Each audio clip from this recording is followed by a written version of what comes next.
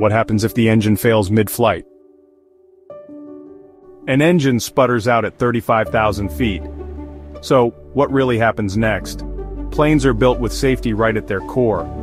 Modern jets are designed to keep flying, even if one engine stops working altogether. Pilots train for this exact scenario, running through checklists and talking to air traffic control to make sure everything goes smoothly. Here's a cool fact.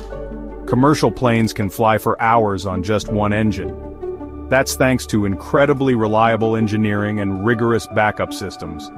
So, that dramatic engine out scene? In reality it's rare, and pilots can glide the aircraft safely to an airport, often without passengers even realizing what's happening.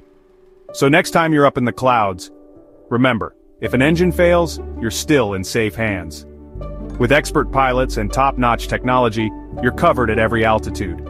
Hit like, share, and follow at HowtoThai 1 for more surprising aviation facts and a peek behind the cockpit door.